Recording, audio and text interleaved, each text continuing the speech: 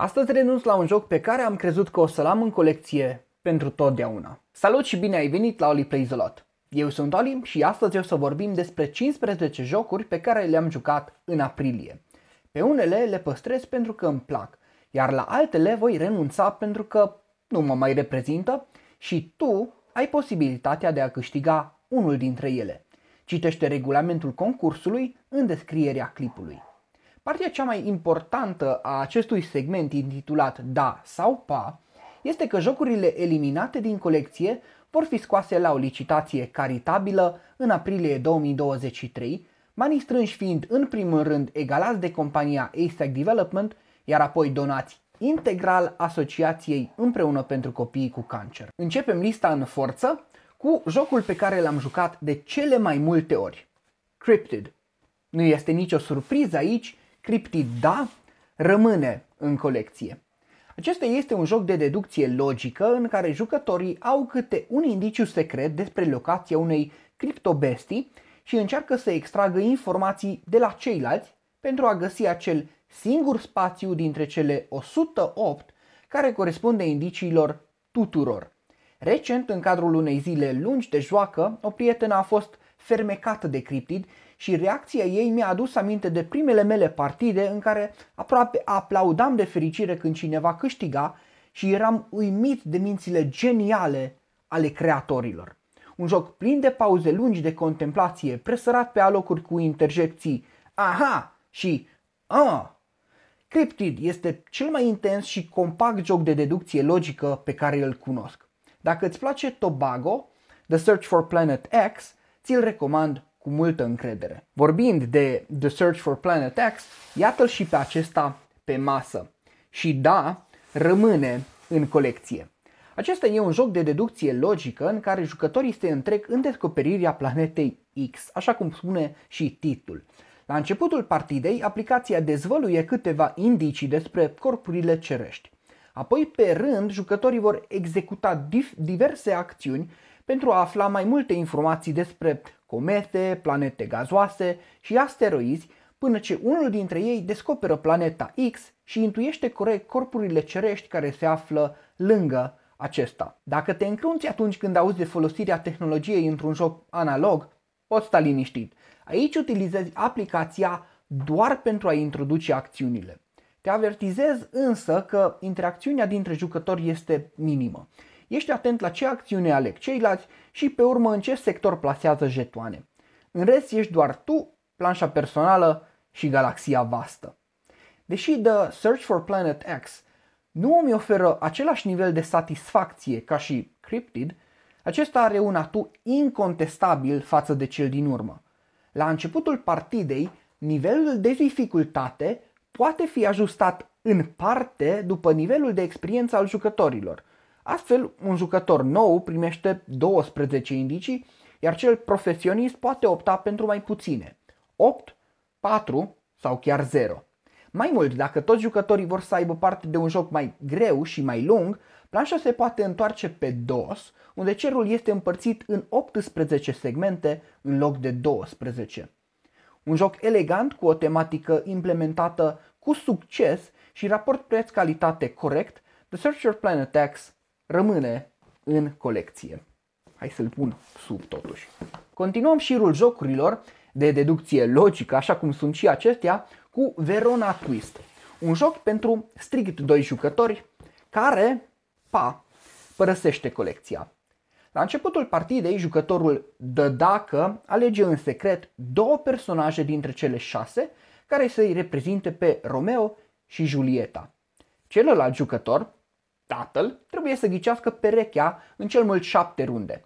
În prima fază a rundelor, jucătorii mișcă în mod alternativ personajele pe planșa centrală, iar în a doua fază, dă dacă dezvăluie dacă perechea este împreună, adică amândouă personaje se află în centrul planșei sau pe căsuțele exterioare, sau perechea nu este împreună, un personaj aflându-se în centrul planșei, celălalt în exteriorul acesteia. Pe baza informației primite, tatăl reduce cercul posibilelor perechi și începe o nouă rundă până ce se scurge timpul și câștigă dă daca, sau tatăl restrânge posibilitățile la o singură pereche și câștigă jocul. Verona Twist seamănă foarte mult cu Mr. Jack și sunt convins că dacă acela ți-a plăcut, și acest joc autohton va fi pe gustul tău. Eu trebuie să admit că sunt foarte slab în jocurile de genul, pentru că sunt prea multe posibilități și pur și simplu nu îmi dau seama cum să blochez cu succes adversarul, cum să-l forțez să dezvăluie informații importante. Mă despart deci de Verona Twist, dar ți-l recomand cu drag um, dacă ești pasionat de șah, Mr. Jack, Hive sau Six Making. Continuăm cu un alt titlu de al domnului Dorshansky Iosef, Quinke, care la fel, pa, părăsește colecția. Acesta este mult mai ușor decât Verona Twist, un joc pe care deseori l-am recomandat familiilor cu copii mici. Un Connect for puțin piperat. În tura ta poți așeza, marca și muta un cartonaș cu parașutiști și câștigi dacă ai 5 într-o linie. Deși faptul că blocurile de parașutiști își schimbă locul este inedit și poți face combinații impresionante, jocul este mult prea ușor pentru gustul meu și sper să-și găsească un cămin mai potrivit. Următorul joc din aprilie este Chai. Verdictul este pa. În 2020 am creat o recenzie și mă mir cât de bine descrie tot ce simt despre Chai și astăzi. Avem aici un joc de familie, puțin ușor pentru mine, cu o rejucabilitate mediocră, dar curs lin de joc, ilustrații superbe și componente de calitate. Se vede că acest joc este un proiect de dragoste a designerilor Dan și Connie Casimir. Deși mă despart de pachetul Chai compus din jocul de bază, extensie și playmat pe care nu l-am aici, sunt convins că dacă îți plac jocurile legere sau grupul tău doar acum se familiarizează cu jocurile moderne, Chai este o alegere potrivită pentru tine. Apropo, urmează să primesc de la cuplul de designeri Chai Thiefer 2 despre care cu siguranță o să îți povestesc, așa că te invit să te abonezi la canal și să activezi notificările. Un alt joc pe care nu l-am cumpărat, ci l-am primit cadou, este Raccoon Tycoon, care, pa, își ia adio. Nu mi-e ușor să renunț la cadouri, mai ales dacă acestea au o poveste faină în spate, cum e și cazul acestui titlu, dar dacă vreau să fiu 100% sincer, știu că degeaba l-aș păstra pentru că nu ar mai prinde masa. Printre aspectele forte ale jocului se numără faptul că timpul mort este neglijabil, fiecare jucător dispunând de o singură acțiune în fiecare tură, iar acțiunile mai lungi, cum ar fi licitarea pe o linie feroviară, îi implică pe toți jucătorii. Totuși, toți patru am avut impresia că partida a durat prea mult. E ciudat că ești aproape mereu activ în timpul partidei și la sfârșit să spui Ei, ar fi fost mai fain să se termine acum 20 de minute. Deși dinamica pieței este faină pentru că trebuie să intuiești momentul oportun în care să vinzi resursele la cel mai bun preț, jocul e repetitiv.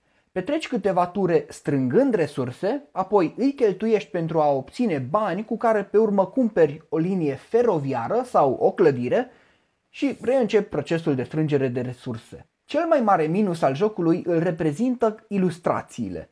Aceste animale antropomorfe îmbrăcate în straie din secolul XIX mă întristează pur și simplu, fără să pot da o explicație concretă de ce. Raccoon Tycoon ajunge deci în stiva PA. De la căi feroviare facem tranzițiile la linii de metrou cu jocul Maglev Metro, care, da, rămâne în colecție. În aprilie, Bezier Games a lansat o campanie pentru extensiile Maglev Metro, motiv pentru care am vrut neapărat să pun jocul pe masă. Singura mea întâlnire cu el a avut loc în doi jucători și a fost plăcută, dar nu m-a dat pe spate. Deși nu are nimic de a face cu Five Tribes, cele două jocuri au un punct slab comun.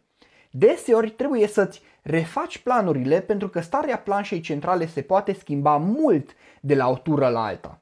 De exemplu, se construiește o nouă stație la care ai acces, vin oameni în stație sau oamenii de care aveai tu nevoie se urcă în metroul oponentului și așa mai departe. Asta înseamnă timp mort în plus, pentru că deseori aștepți ca oponentul să decidă și să-și facă mișcarea pentru a, put- pentru a te putea gândi la tura ta. Tocmai din această cauză nu l-a juca în 4 persoane, care este numărul maxim de jucători, ci cel mult în 3, dar preferabil în 2. Componentele sunt superbe. Liniile de metrou sunt desenate pe cartonaș din acril, transparente și la finalul jocului, uh, deși aici nu se vede, planșa arată exact ca hărțile de metrou. La cât de atent au fost la detalii, mir că jocul nu are un insert și piesele au fost pur și simplu aruncate în cutie. Uneori editurile fac decizii ciudate. Următoarea noastră oprire este în Japonia cu jocul Tokyo Metro, care, pa, iese din colecție. Designerul Jordan Draper este un tip american care locuiește sau locuia în Japonia și care s-a inspirat mult din cultura cotidiană a țării și a creat jocuri despre piața de pești, automatele cu sucuri, arhitectură și chiar și spălătorii de monede. Nu e greu de ghicit că tematica jocului de față este inspirată din rețeaua de metrou din Tokyo, iar jucătorii investesc în construirea stațiilor și speculează pe valoarea liniilor de metrou. Am fost momit și puțin păcălit de această cutie compactă și foarte diferită vizual de toate celelalte jocuri pe care le dețin și înainte să-l cumpăr nu am citit destule recenzii despre joc pentru a-mi da seama că nu e potrivit pentru mine. Ba chiar am cumpărat monede de metal la care nu o să renunț pentru că îmi place clinchetul lor și arată superb. Hai să le arăt la camera de sus. Glumesc, nu-mi permit încă o cameră de filmat. Să revenim la joc.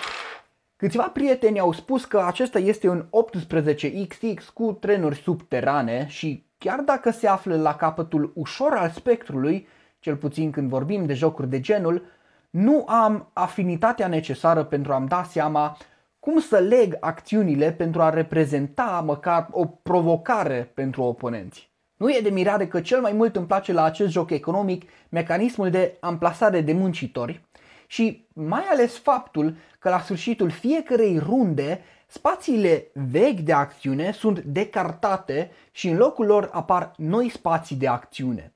Un alt lucru ieșit din comun este faptul că planșa centrală, ceea ce se vede și aici pe cutie, este făcută dintr-un material textil, care pe de o parte mi se pare o idee faină. Pe de altă parte, mă disperă pentru că îngreunează mișcarea omuleților și a marcatoarelor de metrou, mai ales când trebuie să balancezi un marcator mititel pe o cută. Cred că amândoi începem să vedem un trend și poate că tematica de metrou induce decizii dubioase. Ușile se închid și Tokyo Metro părăsește stația. Un alt joc creat de Jordan Draper este Import-Export. Acesta, pa, o ia pe urmele fratelui său. Oh, nici nu are imagine. Bun, o las așa. La început ți-am spus că renunț la un joc de la care am avut așteptări imense. Ei, acesta e. Rețin concret momentul în care l-am sunat pe fratele meu și i-am spus cu un zâmbet mare pe gură că am dat de aur. Import-export este noul Glory to Rome, dar are regulile puțin diferite. Și ce, tocmai aceste reguli schimbate pe alocuri îl fac mult mai slab decât Glory to Rome, care, da, rămâne în colecție. Asemănarea dintre cele două jocuri dată de structura rundelor, felul acțiunilor și mecanismele centrale este incontestabilă. Și dacă nu aș fi văzut numele lui Jordan Draper pe cutia uh, import-export, aș fi crezut că Carl Chudik și-a reimplementat ideea într-un spațiu mai modern. În Glory to Rome reconstruim Roma, folosind cărți care pot fi clădiri, angajați sau resurse. În import-export exportăm diverse bunuri cu vaporul, cărțile, cărțile fiind containere, acțiuni sau produse. În ambele jocuri, jucătorul activ anunță o acțiune, așezând uh, cartea uh, sa uh, de personaj sau o acțiune pe planșă și ceilalți îl pot urma jucând o carte de același tip, urmând ca fiecare să execute acțiunea. Cea mai mare diferență dintre jocuri și motivul pentru care Glory to Rome este jocul meu favorit, iar Import-Export este nevoit să-și găsească un alt cămin, este fluxul cărților. În Glory to Rome, după ce ți-ai terminat acțiunea, Cartea aleasă pentru executarea ei este decartată în piața centrală. Dispui de două acțiuni pentru a lua cărțile de, din piață și a le pune în depozit. Cărțile din depozit pot fi folosite ca material de construcție sau așezate în trezorerie. Cu siguranță observi acest flux viu. Cartea e în mâna ta, ajunge în piață, apoi în depozit și pe urmă este folosită ca material sau comoară. În import-export, cartea folosită pentru executarea acțiunii este decartată în teancul de decartare. Și gata, s-a dus. Da, există o insulă centrală, dar cărțile de pe ea se schimbă foarte rar. Iar tu ai nevoie de cărți verzi sau negre sau galbene și pur și simplu nu ai norocul să fie pe insulă.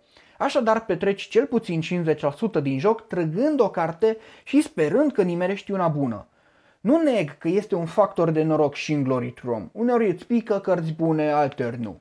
Dar acolo poți induce apariția unei anumite culori alegând ca jucător activ acțiunea respectivă, forțându-ți oponenții să joace cărți de acea culoare, care apoi ajung în piață și pe care ulterior le poți lua. Nu vreau să mă lungesc, așa că mă abțin în a compara mai în amănunte jocurile, așa că o să încheiem aici. Import-export va fi exportat spre altă casă, iar Glory to Rome și-a dovedit din nou valoarea și rămâne în colecție. Chessel este un joc despre care am scris pe pagina Facebook acum o vreme. Rămâne sau pleacă? Pleacă. Nici nu pot imagina un alt mecanism care să redea tema jocului mai bine decât cel de deck deconstruction. Da, ai auzit bine, deck deconstruction. Jucătorii sunt sculptori și la începutul partidei primesc un teanc identic de cărți care reprezintă blocul de marmură pe care vor lucra. Acestea conține moloz, respectiv părți ale corpului, cap, brațe și corp.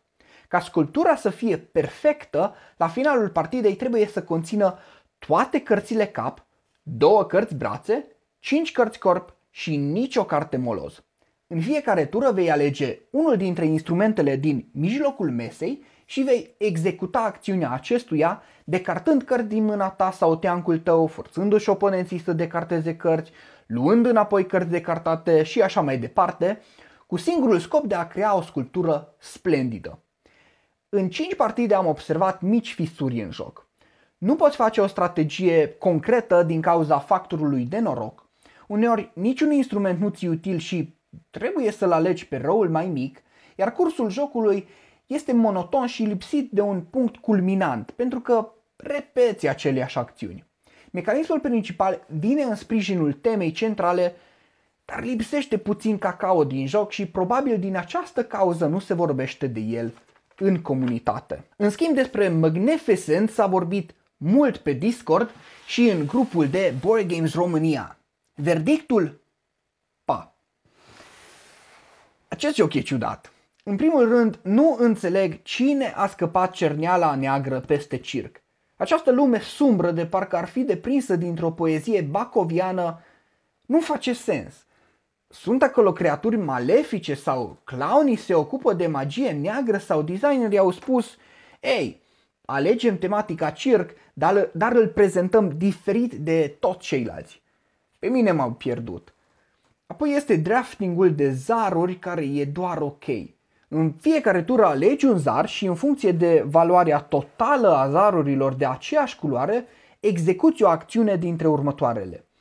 Îți dezvolți circul cu corturi cu de, de forme tip Tetris, um, aduni cristale cu caravana sau faci un spectacol. Ei, când am citit regulamentul, am avut impresia că esența jocului o vor constitui spectacolele și am rămas mască atunci când într-o partidă întreagă am folosit acțiunea o singură dată. Da, am făcut atunci un show complet cu 5 personaje, dar pe urmă, în ultimele două uh, ture, nu am făcut mare brânză. Pregătirea unui spectacol îți mănâncă prea mult timp și nu e destul de satisfăcător. Cu toate acestea, prietenilor le-a plăcut și um, se uitau nedumeriți la mine când le-am spus că acesta nu e de nasul meu. Poate cu mine e problema că elimin The Magnificent din colecție, dar atunci ai noroc pentru că poți câștiga un joc fain. Apropo, jocul conține doar regulament în germană, dar componentele sunt, uh, nu au text. Da? Jocul este independent lingvistic. Un alt joc fain este Dominations Road to Civilization, care, da, rămâne în colecție. Iar acum vine partea cu litere mici. Am reușit să-l joc o singură dată și nu mi-am format o idee clară despre soarta lui. Dominations este un joc lung. Chiar și în doi jucători l-am terminat în mai mult de 3 ore și nici nu vreau să-mi imaginez cât durează o partidă în 4 persoane. Clar, această durată se datorează în mare parte faptului că era prima noastră întâlnire cu jocul și ne-am lovit de întrebări la care nu am găsit răspuns în regulament și trebuia să consultăm forumurile de pe Board Game Geek. Însă, dacă și partidele următoare vor dura la fel de mult, mă tem că mă voi despărți de joc pentru că este slab raportul dintre timp investit și satisfacție obținută. Jocul este împărțit în 3 ere, fiecare având câte 5 runde în care pe rând jucătorii fac câte 3 acțiuni. Cresc terenul central, construiesc o clădire sau un monument și își dezvoltă civilizația. Deși fiecare în parte sună foarte ușor, multe decizii mici au un impact puternic asupra sorții civilizației tale. Locul în care uh, plasezi primul cartonaș determină tipul resurselor pe care le generezi. Resurse pe care ulterior le poți folosi la dezvoltarea a 72 de tehnologii la care ai acces de la începutul partidei. Dacă o persoană dispusă la paraliză de analiză, cum sunt eu, vrea să citească toate cărțile de tehnologie înainte de a face vreo mutare, partida o să dureze o veșticie. Știu că revin mult la aspectul temporal al jocului și poate pe tine nu te deranjează dacă petreci mai multe ore la același joc, dar pentru mine e important ca durata partidei să nu fie în detrimentul distracției. Aici suntem la limită.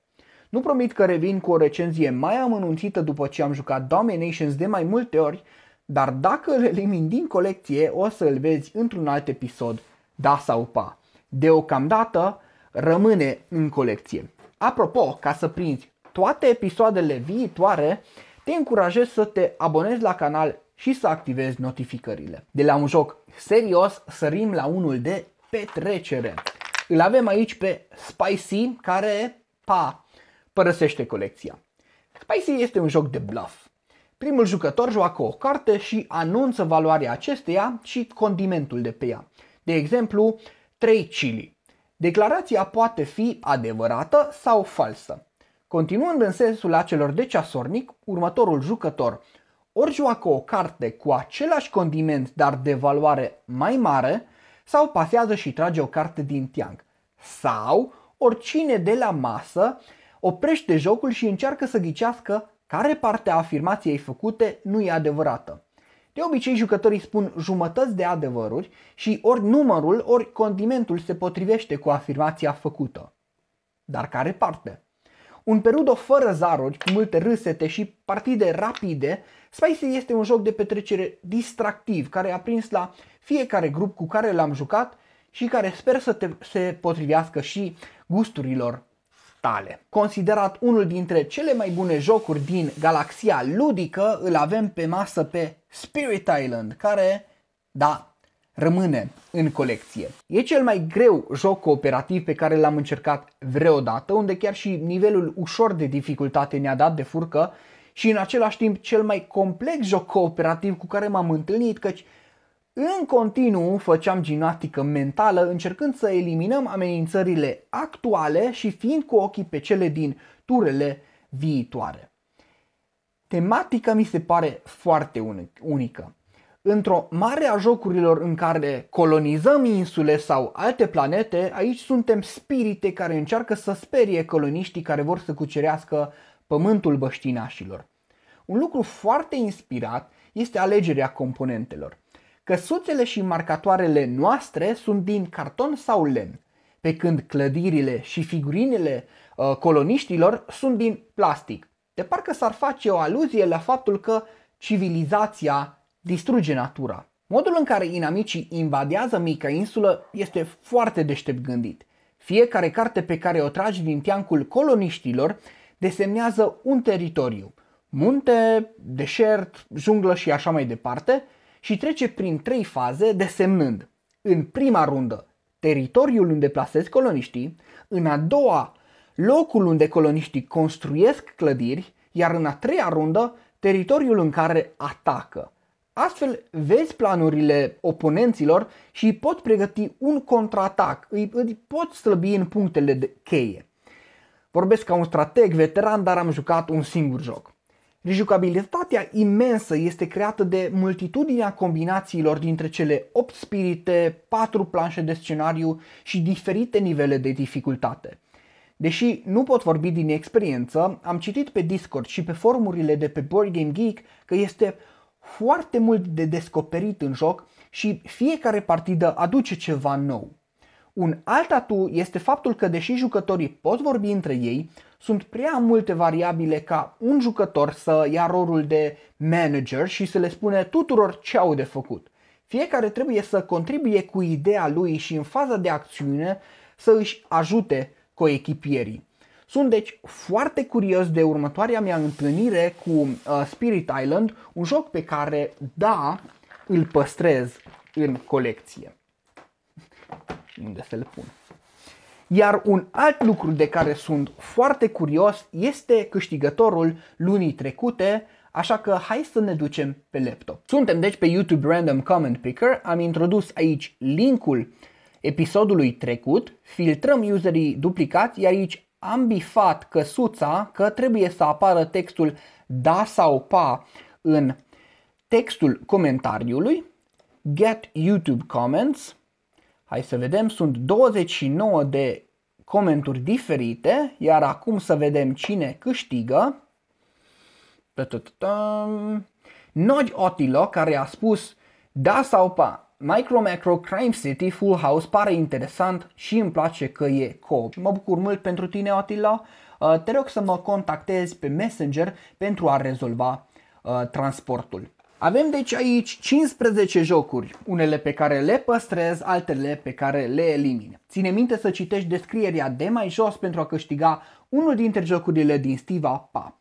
Eu sunt Ali de la Ali Plays a Lot, mă bucur că am fost împreună și aștept să ne revedem în următorul episod. Până atunci să ai zile pline de jocuri. Salut!